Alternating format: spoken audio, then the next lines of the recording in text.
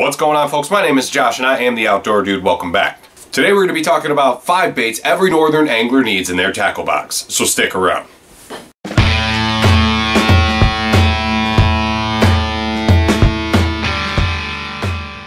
Alright, welcome back guys. Now we all know about those baits that are pretty universal that all over the country like Senkos, crankbaits, and jigs, right? We can all use them no matter where you are in the country. You just change up your color or maybe not even do that and it just they just catch fish wherever you are. There are some baits that most northern people fish with and some don't because they may not know about them but those of us who learn from our dads or our grandpas or older brothers or anything like that if you learn from somebody older than you in the north you've got these lures in your tackle box. At least you should. I'm not running this list in any specific order. These are just go-to baits that every northern angler needs in their tackle box so let's get into it. First up not the first not the number one not the number five just first up is the jerk bait Everybody knows what this is. Most of you southern guys, western guys, you know what the jerkbait is. You probably even fish it a lot. But being that the jerkbait is better used in cold water, it's very common in a northern tackle box. We like to run this a lot. If you don't know what the jerkbait is, this is a jerkbait. It's made out of balsa wood. It's floating lure. You get this thing down to depth and you just rip your rod, rip, rip, rip. If you've ever watched KVD fish, you've probably seen him fish the jerkbait. These are great in cold water. They're suspending. You put heavier hooks on it to suspend a little bit longer and sit there and float in colder water so you get longer pauses, longer twitches. Better chance for that bass to hone in on it and strike when, when they're a little bit slow moving and fickle. A budget-ended jerkbait, depending on how like you how you like to pronounce it, potato patata, but Rapala or Rapala, I run the Husky Jerk number 10, and this seems to work really, really good. Being that we're in the north, You'll get a lot of different species will strike this lure. You'll catch you'll catch chain pickerel on this, you'll catch northern pike, you'll catch muskie, you'll catch largemouth bass, and even smallmouth bass will strike. Great, great lure to have in your tackle box. Your box isn't complete without something like this. Whether you choose Rapala or the various other brands that are out there, every northern tackle box needs a jerk bait. Next up on every northern angler's tackle box list, it's the Gold Phoebe Spoon and this thing is awesome.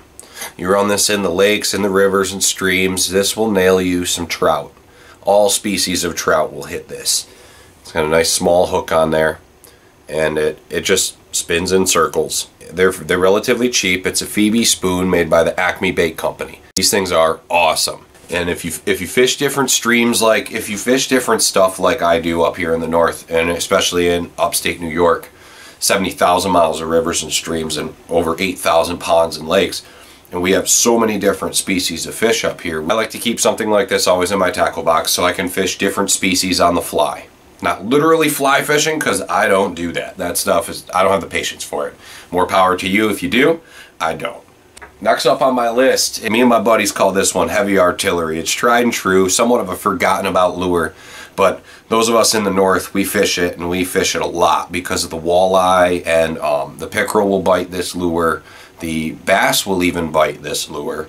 Um, we're going with just a basic lead head ball jig with the orange eye and the black with the black dot eye and the orange around it. This is very specific.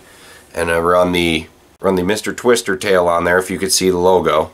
And you always want to run this this with the curl facing down so it doesn't catch the hook when it's flipping around. And if you run it real slow, low and slow on the bottom, and just roll this, just crank it back to you, steady retrieve, this will kick up dust on the bottom and creates a little bit of a disturbance like a small fish swimming across the bottom. And you also can just bounce this jig back up and down. You get vertical, vertical jigging. As simple as it is, it's a very, very versatile bait. Should always have one of these in your tackle box. I've had a few days where I've gone out fishing with my buddies and the bass weren't hitting where we were. We didn't have a lot of gas to make it across the lake. We live on a big, or we live near a very big lake. Oneida Lake for all my locals. We didn't have enough gas to make it around the lake, so you pull one of these out, throw it around, and you will catch something. You catch, like I said, you'll catch pickerel, walleye, bass, anything on, on a, anything on this lure. This is a great forgotten about lure. Every northern angler needs this guy in their tackle box. Next up, you may have seen this in one of my videos. I've uh, recently become a big fan of this. I've always had one, never really used it, um, especially in this color. I have it hooked up to a 10 inch steel leader for a reason, a 30 pound steel leader with a barrel swivel on it. And we're gonna, next up on the list, we're gonna be talking about the metallic perch colored Little Cleo.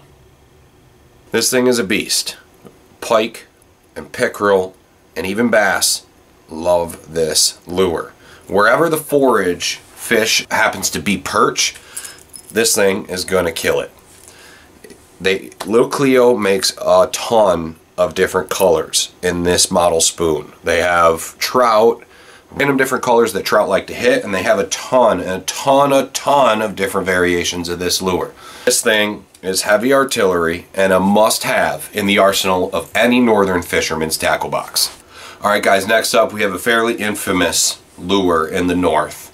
All the way across the north, if you have northern pike, if you have the toothy critters, and even, even the bass really, really do like this lure. But if you've got muskie or pike, you know this lure and you've probably fished it before. But for those of you who haven't and you live in the south, maybe you don't have these kinds of fish wherever you live, next up on my list is the Daredevil Spoon. The real Daredevil Spoon with the logo painted on it and the information punched in on the back. Dearborn, Michigan. Daredevil. IMP. This, this one is the real deal, not to be confused with the fake South Bend ones that have been sold. Now these will catch fish, they're okay, but they're not.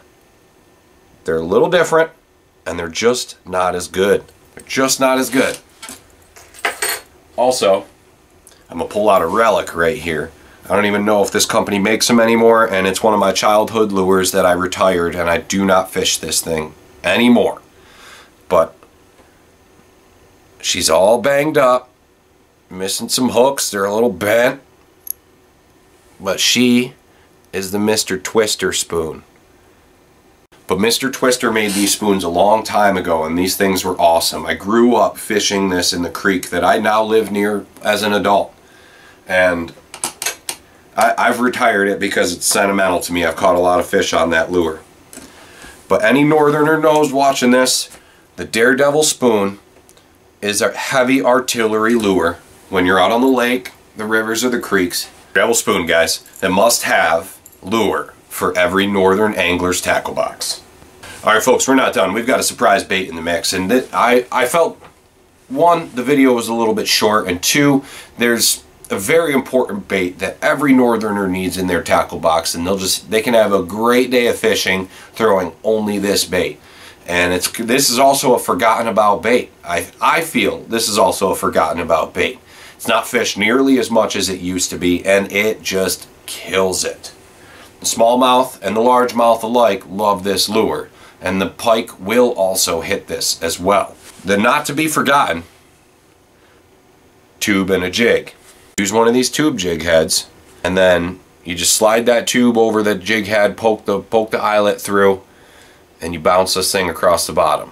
Depending on depth and current, I, I'll fish different weights all the way up and down, but I love this size tube. I use the Zoom black and red 3.75 inch black and red glitter super salty tubes. And guys, these things are awesome. And even if I don't use the tube jig head, there is another way that I fish these and it takes a little bit of practice to rig it up right, but I'll use an extra three uh, extra wide gap hook and I can rig these up somewhat weedless and Texpose the hook back in the bait. That way it can come through grass a little bit better. And when you do that and you fish this weed, weedless and weightless, it has a erratic jerkbait spoon-like action and it has a slower rate of fall that the bass just love. I fish it like that when I'm fishing for the largemouth and I fish it with the tube jig head when I'm fishing for the smallmouth. Little extra tip, that's number six on the list, not number six, but it's the sixth bait I've showed you. That's an extra bait for the list, and I hope that helps you guys put more fish in your boat, more fish in your bucket, and more bucks in your pocket and save some money. Alright guys, thank you so much for watching. This is where I'm going to end the video. If you like this video, hit the thumbs up button. And if you would like to see more videos like this, hit the subscribe button. And if you guys want any of the baits that you've seen in this video, I'm going to put the links in the description below. And full disclosure, I do make a small commission off of those links when you buy something from Amazon through those links. But it costs you nothing extra and it really helps me out and it helps me continue to do videos like this for you guys. So thank you so much for watching. Please like, share, and subscribe. And as always, see you next time.